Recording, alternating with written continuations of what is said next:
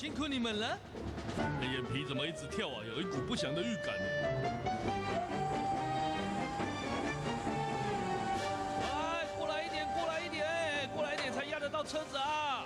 哎，那是我的 car，呃，这是你的车子是吧？啊，那赶快来瞻仰它的完整仪容啊，因为它即将面目全非了。他不会真的把我车子给砸毁了吧？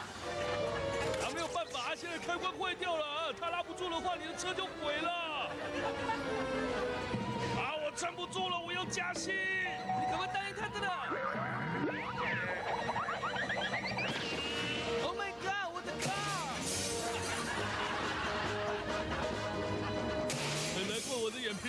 果然出事了。